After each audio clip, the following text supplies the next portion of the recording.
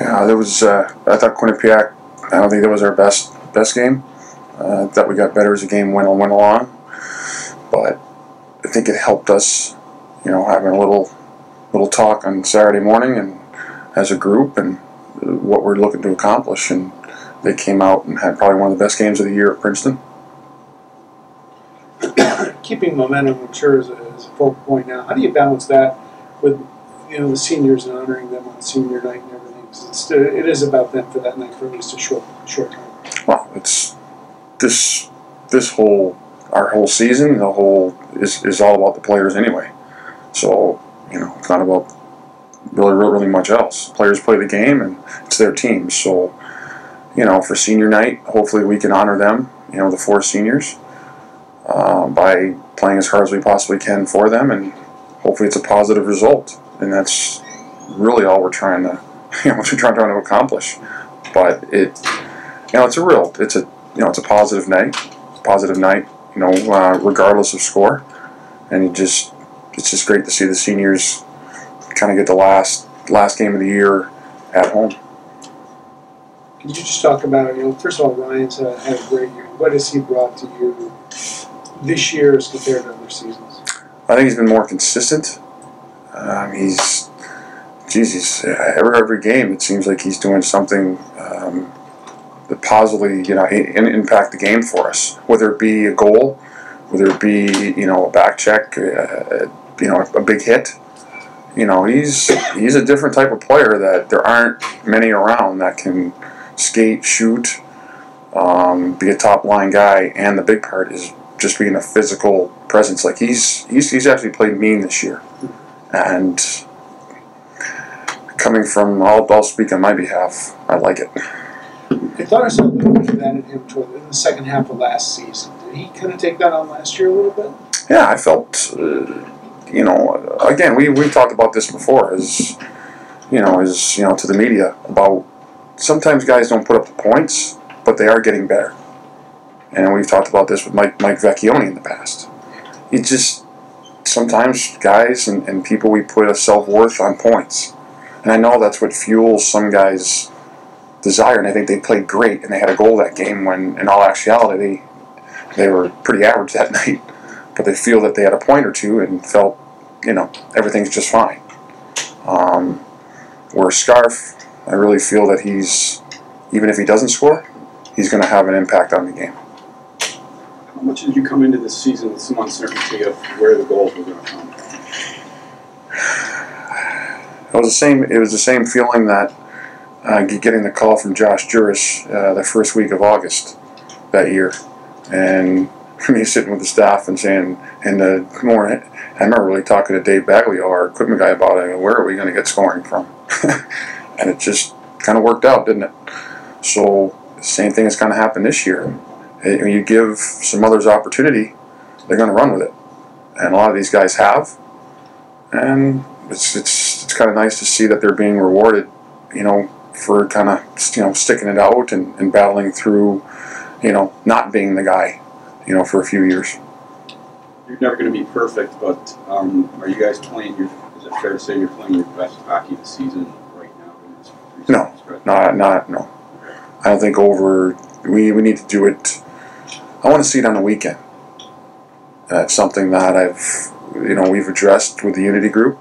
We've talked about a little bit, and I'm sure they're going to talk about it again with our team psychologist today, and hopefully we can get that consistency over a two game span. Because you have to have it if you ever want to do anything. Last time I checked, it's you have one bad game that can put you in the hole after the season and, and, and in playoffs, and now you're fighting an uphill battle. And if you're really fortunate enough to get in the one game elimination, if you have, you want to try to sock in 10 to 15 minutes of off time, so it's going to catch you. And hopefully last year was a good example of that, and they learned from it. Can you point to being outside the pairwise ranking right now? Cornell and Colgate is an opportunity against, especially Cornell, team highly ranked, to Sure. pick up some, some steam in the pairwise rankings. we haven't even addressed really the pairwise. I think we did a couple weeks ago and kind of demonstrated to the team that this is what can happen. if you have an off night, and how you'll kind of drop like a rock. And it has a positive effect too. If you start to string together some good games, how quickly you can rise. I think well, what were we about 32 or something a few weeks ago? I couldn't even tell you what we're today. I can't even keep up with them. I don't even want to keep up with them. You know, I just just so we're, we're worried about this and focused on this team and just trying to get ready for a very good Colgate group. RPI hasn't won a lot of games this year, but they did beat Cornell last time they played. Is there anything you can take out of that? I want to thank them for that, uh, but it's about it. Uh, you never know. You know, I, I, I, can they beat that team twice? Who knows? Anything can, can happen in college hockey, but uh, they're going to have the work cut out for us. I know that because Cornell can. They're a very business-like, structured team when they get on the road. Um, just knowing Mike Schafer and his his group and his past, so that's going to be a tough haul for RPI. But all we have to worry about is to take taking care of our backyard and see what happens. And if we can play for a trophy on Saturday night, then great. If not, then it wasn't meant to be, and we put ourselves in that position. Would you say you're cheering for RPI on Friday night? I would say that, yes. And they've helped us out in the past, and again, I want to thank them. But that's as far as it's going to go. At the beginning of the season, Rick, did you see the potential that the championship, regular season championship, would come down to the final night of the regular season with you guys involved? How can I answer that? Um, and be really, really honest with it, with all of you. No. Uh, I, just, but you never know. I, it's a, it's been a real fun, fun time just coaching this group. Like they've, they've had a lot, they got a lot of fight, and they've, they've proved that this, this year.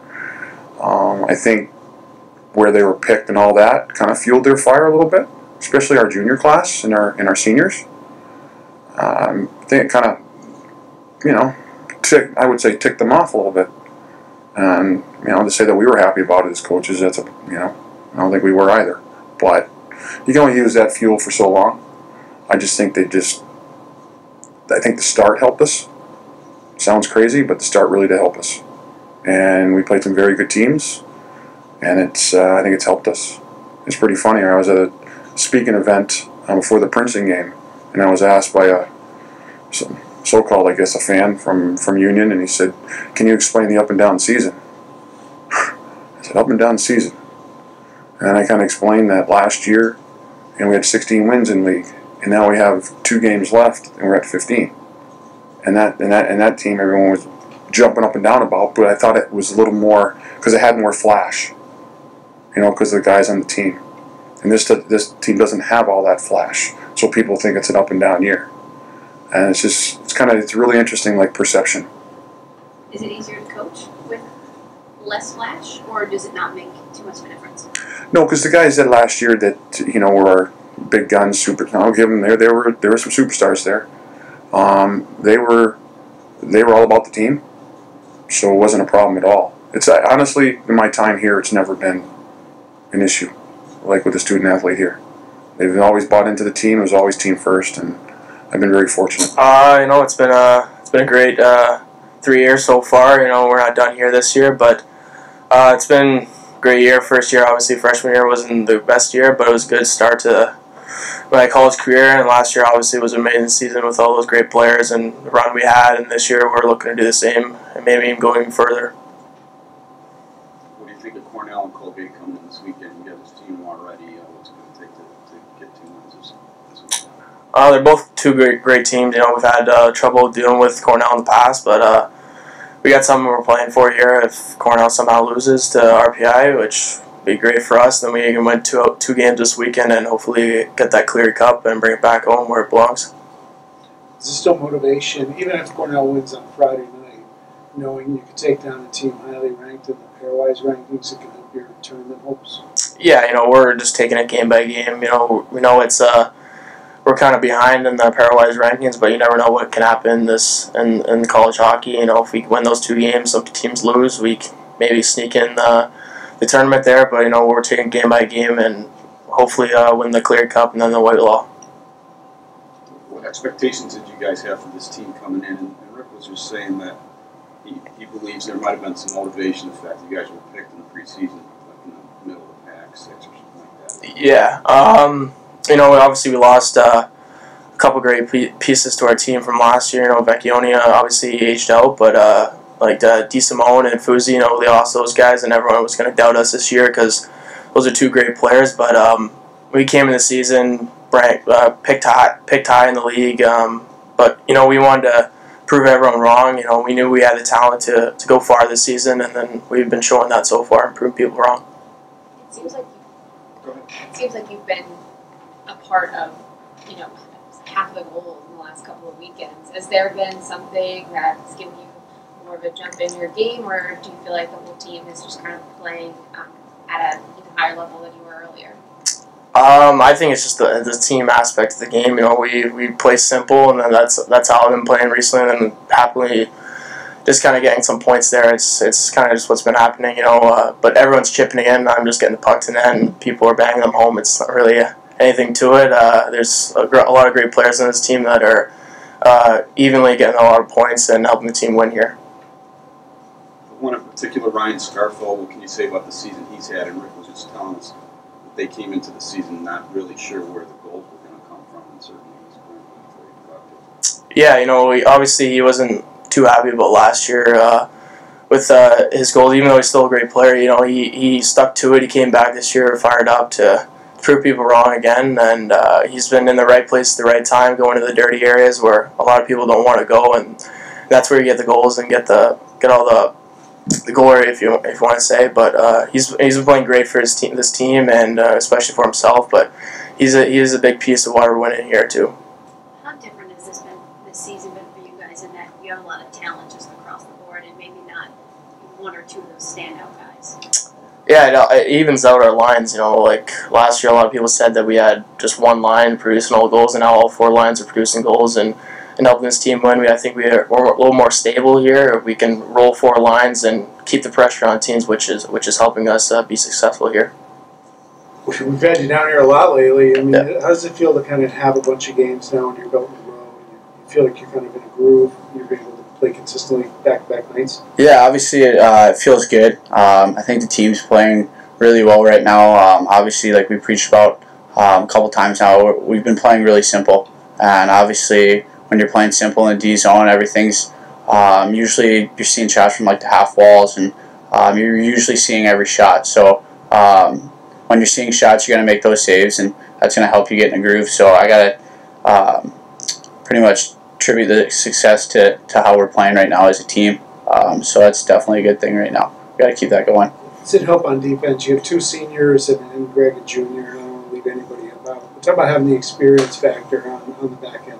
Yeah, I think it's it's crucial. I mean, obviously you got a guy like Connor Light on the backhand who's been here for four years now, and he's a extremely simple D man that you love to play or you love to play behind. And then you got Greg, um, who's just an incredible guy to play in front of too. And then obviously they've been just teaching our freshmen and our younger guys how um, how to play. And uh, like I said, we're just keeping it simple right now, and simplicity in the D zone is really helpful for me. I know you don't want to look too far ahead, but how much pride do you take in going up potentially against one of the other top goaltenders in the conference? Yeah, I mean, I think every every night when you're playing a, a good goalie, it's going to be a good battle. It's going to be a fun battle. I mean, even looking to to this weekend playing uh, Colgate's goalie, who's an incredible goalie, and then the next night playing um, Cornell's goalie, who's had a, tremendous year. Um, I think that's it's always fun to play um, someone on the other net that's skilled, and it makes it that much more competitive. So I'm looking forward to it. Now that we're heading into the final week of the regular season here, is your mindset, is your mentality any different than you feel like it was at the beginning of the season? Um, I, I wouldn't say any any different really. I mean, obviously the games matter a little bit more, um, but you try to go into every game with uh, your same routine, kind of the same groove that you've been in, and just kind of keep that going. So I wouldn't say it's any different, but it definitely means a lot more to me to, to get that next one, for sure. What's the read on Colgate and Cornell? You guys have seen them once already. Where do you expect the shot? Yeah, obviously, um, with my time here playing Co- uh, Cornell, um, it's been tough. They ended our season freshman year, and then last year um, we we went back and forth with them. So I think that's always going to be a tough battle. Um, and Cornell or uh, Colgate, the same thing. We've always had one, two goal games. Um, I think they keep it really simple and they do um, just about everything they can to keep it that way, and they play a really good game. So I think going into Friday night, we just need again keep it simple, do our thing, and then um, I think the Saturday night game is going to be really intense, and we're going to have to bang some bodies a little bit. But uh, I think that game is going to be a lot of fun. So. What can you say about the season Ryan Scarfo's had? And um, Rick was saying they didn't really know where the goals were going to come from this season, and he certainly broke out. Yeah, for sure. I think uh, that's huge for him. Obviously, he's one of our hardest workers here, and he's always has been ever since I've known him. So I think it's it's really good to see him start finding his groove and really doing that for us. I think a huge part of our success comes from that guy and what he does for this team. So I think it's huge that he's doing his thing, and uh, I really appreciate it.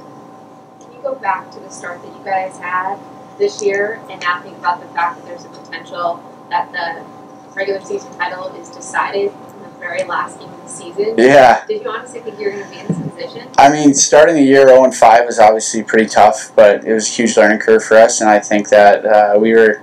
It helped us grow as a team big time to kind of dare ourselves out of that hole, and every game was important as uh, after that. So I think going into this last game or last weekend, it's obviously huge. Uh, like you said, the title's on the line, so hopefully we can get some puck luck Friday night um, with RPI. But um, even if we don't, playing Cornell, who's top team in the, in the league, is going to be a lot of fun.